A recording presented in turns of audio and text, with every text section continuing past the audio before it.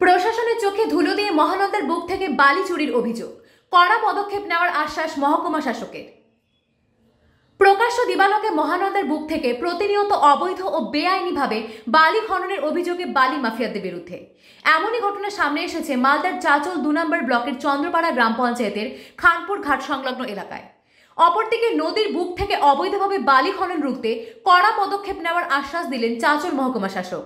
এই ঘটনা সামনে আসতেই শুরু হয়েছে তৃণমূল বিজেপি চাপানুতর জানা যায়, মালদার চাঁচল দু নম্বর ব্লকের চন্দ্রপাড়া গ্রাম পঞ্চায়েতের পাশে রয়েছে খানপুর মহানন্দা ঘাট।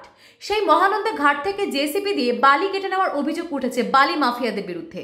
বাদ দিয়ে নদী ঘিরে সেই নদীর জল পাম্পিং মেশিন দিয়ে টেনে তারপর নদী থেকে কাটা হচ্ছে বালি। আর সে বালি ট্রাক্টরে লোড হয়ে পাচার হচ্ছে বলে অভিযোগ। প্রশাসনের নাকের টাকা চলছে বালি মাফিয়াদের দাপট। এইভাবে বালি নেওয়ার ফলে নদীর বুক থেকে দিনের পর দিন বালি কেটে নেওয়ায় নদীপথের ভারসাম্য হারিয়ে ফেলছে। মহানন্দার বুক থেকে দীর্ঘদিন ধরে বালি চুরির ফলে নদী বাঁধ ভাঙনের আতঙ্কে বাসিন্দারা। প্রশাসন দ্রুত ব্যবস্থা না নেওয়া হলে বাঁধ ভেঙে প্লাবিত হবে একাধিক গ্রাম। এমনই আশঙ্কা করছেন এলাকার স্থানীয় বাসিন্দারা।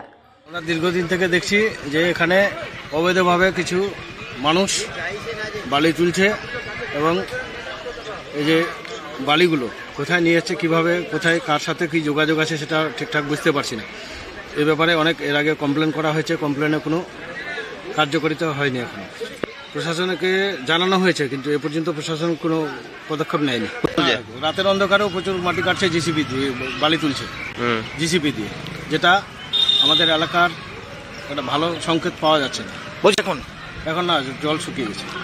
বালি কাটার ফলে কি হচ্ছে, যে এই যে বাঁধের সংলগ্ন যে বালিগুলো তুলে নিচ্ছে, তাতে যখন বন্যা জলটা বৃদ্ধি পাচ্ছে, তখন সেই জায়গায় গ্রামের এলাকার মানুষের ক্ষতিগ্রস্ত গ্রামগুলো সব তলিয়ে যাওয়ার সম্ভাবনা একটা রয়ে যাচ্ছে।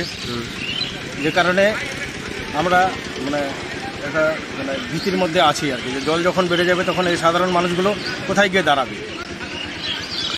এখানে আমাদের যারা আছে, বালি মাফিয়া যারা আর কি, তাদেরকে কোনো রকম কোনো কথা বলতে গেলে এলাকার মানুষ কিছু বলতে গেলে তাদেরকে শাসন গর্জন করছে বিভিন্নভাবে।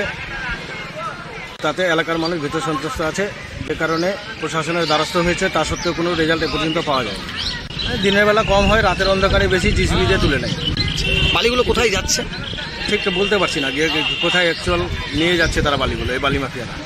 যদিও বালি চুরির বিষয়টি নিয়ে কড়া পদক্ষেপ নেওয়ার হুঁশিয়ারি দিয়েছেন চাঁচলের মহকুমা শাসক কল্লোল রায়। পাশাপাশি তিনি নিজেও পরিদর্শনে যাবেন বলে জানিয়েছেন। এরকম একটি অভিযোগ পেয়েছি। তো সংশ্লিষ্ট যিনি ভূমি সংস্কার আধিকারিক আছেন, ওনাকে তদন্তের নির্দেশ দেওয়া হয়েছে। তদন্ত করে উনি প্রয়োজনীয় ব্যবস্থা নেবেন। যেটা সংশ্লিষ্ট আধিকারিক যেটা তদন্ত করছেন, সেটাতে সব বিষয়ই উঠে আসবে এবং সব দিক দেখেই ব্যবস্থা নেওয়া হ্যাঁ আমাদের সবসময় যাচ্ছে। বিডিও সাহেবও চেক করছেন। সংস্কার আধিকারিকরাও রয়েছেন সেরকম পরিস্থিতিতে আমরা সবাই যাব এবং নজর রাখছি চারদিকেই নজর রাখা হচ্ছে যাতে এই ধরনের কাজ না হয়। আর এই ঘটনার খবর সামনে আসতেই শুরু হয়েছে রাজনৈতিক চাপানুতর। বিজেপির যুব মোর্চা সহ সভাপতি সুমিত সরকার বলেন শাসক দলের মধ্যে বালি পাচার চলছে। প্রশাসন দ্রুত ব্যবস্থা না নিলে বন্যার সময় ভয়াবহ আকার ধারণ করতে পারে মহানন্দা। প্রশাসনকে একটাই জিনিস বলব যে জিনিসটা দেখা উচিত কারণ যে এভাবে যদি বালি উঠতে থাকে তো সামনে আবার বর্ষাকাল আসছে, বর্ষাকালের সময় কিন্তু একটা ভয়াবহ আকার নেবে বন্যার সময়। অবশ্যই প্রশাসনের নজরে আসা উচিত, নয়তো পরবর্তীতে যখন বন্যার সময়টা আসবে, তখন প্রশাসনের পাশে গিয়েও আর কিছু কাজ করতে পারবে না। গ্রাম কা গ্রাম, আশেপাশে যত এরিয়া আছে, সবই কিন্তু তুলিয়ে জলের তলে চলে যাবে। যেটা বহুদিন আগে একবার হয়েছিল, আবার সেই দিনই আবার ফিরে আসছে। যদিও বালি মাফিয়াদের সাথে যোগ রয়েছে বিজেপির বলে পাল্টা কটাক্ষ করেছে স্থানীয় তৃণমূল নেতৃত্বরা। চাঁচল দু নম্বর ব্লকের তৃণমূলের সহ সভাপতি রায়হানুল হক বলেন বালি মাফিয়াদের সাথে যোগ রয়েছে বিজেপি কর্মীদের। প্রশাসন খুব দ্রুত ব্যবস্থা নেওয়া উচিত। একদম, এটাও সঠিক কথা যে সেখানে কিছু বালি মাফিয়া, কিছু দুষ্কৃতী সেখানে বালি রাতের অন্ধকারে তুলছে। সেটা কিন্তু তৃণমূলের কোনো দলও জড়িত নয়, কোনো তৃণমূলের কর্মীরাও জড়িত নয়, বরং বিজেপির কিছু বালি মাফিয়া জড়িত আছে, সেখান থেকে তুলছে। আমরা প্রশাসনকে বলেছি, প্রশাসন সঠিক পদক্ষেপ পদক্ষেপ নিচ্ছে এবং সঠিকভাবে তদন্ত করছে। আমরা আশা করব যেন এইভাবে যেন কোনো বালি মাফিয়া হোক বা বিজেপির দুষ্কৃতা যেভাবে করছে, সেটাতে আমরা তীব্র প্রতিবাদ জানিয়েছি এবং প্রশাসনকে বলেছি যেন উপযুক্ত ব্যবস্থা নিতে।